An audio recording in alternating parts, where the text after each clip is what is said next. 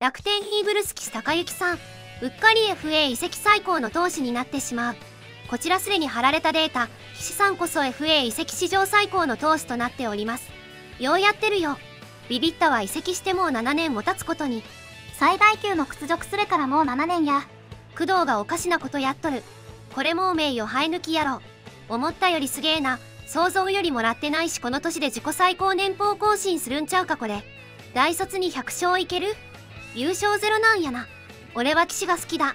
優勝無理になると息を吹き返すやつ。名取北選んだのが好きやわ。練習終わったらサッカーやってたくらいのエンジョイ勢でもここまでやれる。38という現実全然見えへんは若すぎんだろ。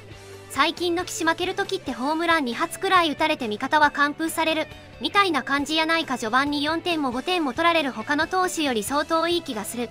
このひらがなの絵みたいなのどうやって出すの？口頭で名前伝える時とか困りそうなやつだな。百姓オーバーの化け物巻いて草浅村と騎士と森友が西武に残ってたら普通に強いわ。岸はまだ元気なのに年下の田中は何で終わったんや。枠糸ガンは最終盤のめっちゃ大事な試合に投げ負けてるイメージある。ご視聴ありがとうございました。